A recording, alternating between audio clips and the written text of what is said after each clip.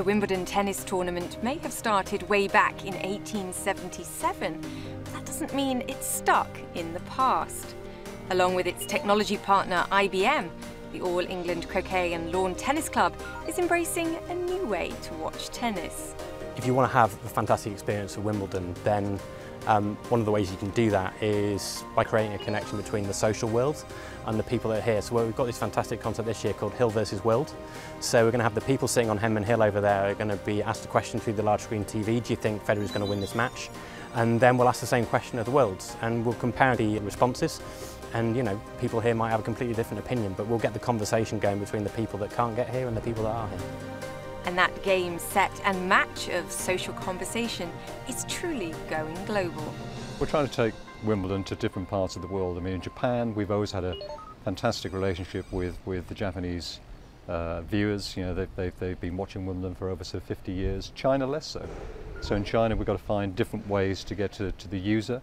Um, you know, in China, more and more people are consuming major sports like ourselves, you know, on mobile or on iPad um, and also time of the day. You know, it's a very different time time of the day that people can access. So I think the more we can take our brand to the user, but still at the same time protect our you know protect our brand values, protect the heritage, the tradition, the quality, um, but deliver quite a big piece of innovation. But as well as the social aspect, the tech team must still provide the essentials for any consummate tennis fan, all the stats.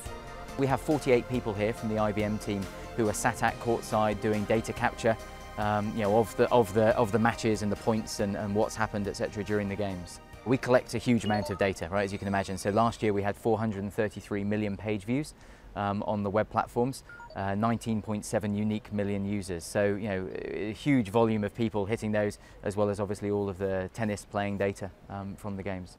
So all that means that should fans have some spare time on their hands, they can get access to all the action and all the information of this year's tournament at the touch of their fingertips. And that could prove a useful tool should rain stop play at some point.